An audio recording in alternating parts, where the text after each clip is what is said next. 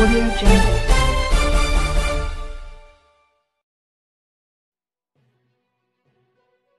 Salam sejahtera, berita hari ini dipetik dari Malaysia Now.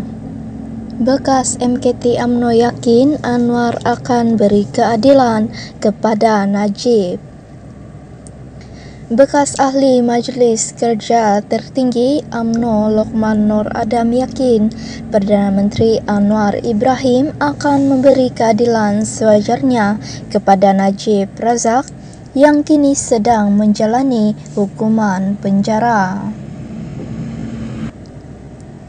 Najib yang juga bekas Perdana Menteri pada Julai 2020 dijatuhkan hukuman penjara 12 tahun dan denda RM210 juta selepas didapati bersalah atas tujuh tuduhan pecah amanah, menyalahgunakan kedudukan dan pengubahan wang haram dana RM42 juta milik SRC International sendirian berhad.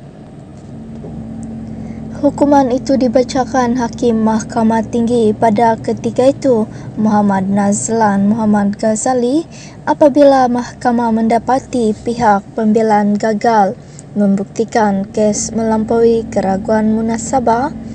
Hukuman itu dikekalkan apabila rayuan Najib yang juga bekas ahli parlimen pekan itu turut ditolak di Mahkamah Rayuan sebelum dimuktamadkan di Mahkamah Persekutuan pada 23 Ogos lalu.